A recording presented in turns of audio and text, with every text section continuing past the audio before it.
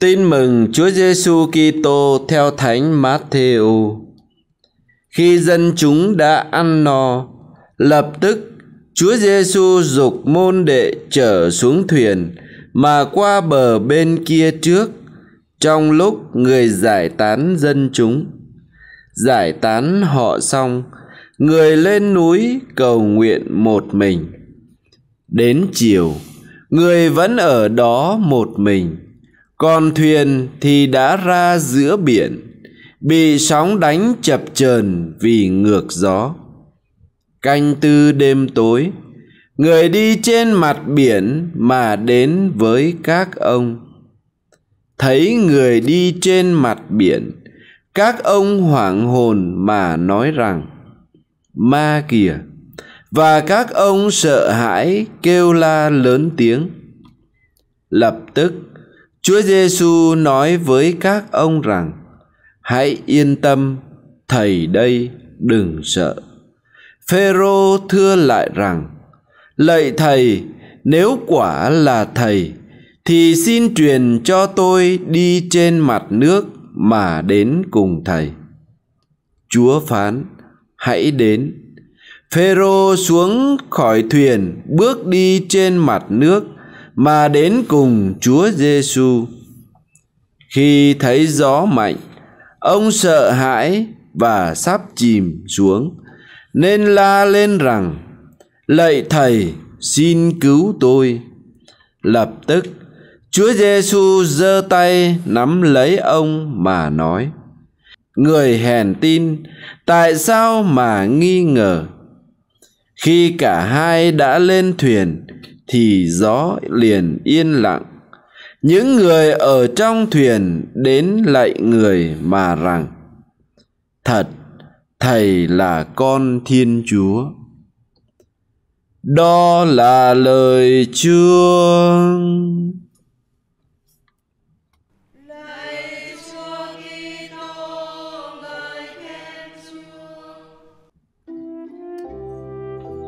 do Thái giáo có đền thờ Jerusalem. Kitô giáo có đền thờ đầu tiên là đền thờ Laterano do hoàng đế Constantino theo đạo và nhường lại cho giáo hội sau 300 năm bị bách hại. Phải chui rúc dưới các hầm mộ để sống sót còn Đức Giêsu trong bài tin mừng hôm nay lại sẵn sàng đập phá đền thờ để thanh tẩy đền thờ. Vậy, phải đập phá những đền thờ nào? Có những đền thờ chỉ có gỗ đá mà không có Chúa. Có nhiều gia đình cũng lập bàn thờ có tượng Chúa, tượng mẹ nhưng lại chẳng tụ họp cầu nguyện bao giờ. Đó cũng chỉ là gỗ đá. Đâu nhất thiết phải có bàn thờ, vì nơi đâu có hai, ba người tụ họp lại. Cầu nguyện thì ở đó chúa hiện diện. Có những đền thờ giống như cái chợ. Không có hàng hóa đồ vật trong nhà thờ nhưng lại có những cuộc trao đổi hàng hóa ngay trong nhà thờ bằng những lời lẽ bông đùa. Nhà thờ cũng không phải là nơi để triển lãm hay khoe khoang. Song tất cả mọi vẻ đẹp bên ngoài của nhà thờ cũng như của thân xác đều phải dẫn tới vẻ đẹp thánh thiêng là chính thiên chúa chứ không thể bắt mọi con mắt phải đổ dồn về mình. Vì thế, chúng ta cần thanh luyện cách sống đức tin. Chúng ta vui mừng và tạ ơn chúa vì giáo dân việt nam vẫn chăm chỉ đi lễ, tham dự các nghi thức phụng vụ.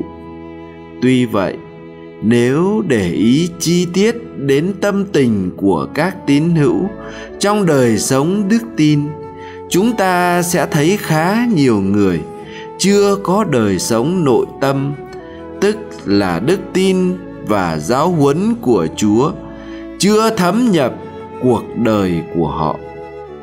Nói cách khác, nhiều người tín hữu vẫn mang hai khuôn mặt. Một khuôn mặt ở trong nhà thờ, sốt sáng, hiền lành. Một khuôn mặt ngoài xã hội lại lắm mưu mô. Nhiều người khác lại có một đức tin pha tạp. Vừa cầu nguyện với chúa, vừa có những thực hành mê tín dị đoan, nhất là nơi những người kinh doanh buôn bán. Họ viện cớ, có thờ có thiêng, có kiêng, có lành. Cho dù là người công giáo mà vẫn thờ thần tài, vẫn xem bói, xem hướng, xem ngày giờ, đảo bới hải cốt, vân vân. Đây là một thái độ bắt cá hai tay. Đi với bụt thì mặc áo cà sa, đi với ma thì mặc áo giấy không phù hợp với đức tin công giáo. Nơi nào tiền bạc ngự trị, thì nơi đó thường không có chỗ cho thiên chúa. Chúa giêsu biết trước rằng người ta sẽ xua đuổi ngài ra khỏi đền thờ và treo ngài trên thập giá. Ngài liền thách thức họ, hãy phá hủy ngôi đền thờ này và trong ba ngày ta sẽ xây lại lúc ấy không ai hiểu được ngôn ngữ của Chúa Giêsu. Sau khi Chúa sống lại, Thánh Gioan đã nhớ lại câu nói của Chúa Giêsu và hiểu rằng Ngài muốn nói đến ngôi đền thờ là thân xác của Ngài. Vậy, thân xác là đền thờ của Chúa Thánh Thần. Ngày nay, người ta nói nhiều về việc suy thoái đạo đức nhưng điểm suy thoái nguy hiểm nhất vẫn là suy thoái về nhân phẩm con người. Thân xác con người là đền thờ của chúa đã bị tục hóa vì thói đời hưởng thụ hôm nay.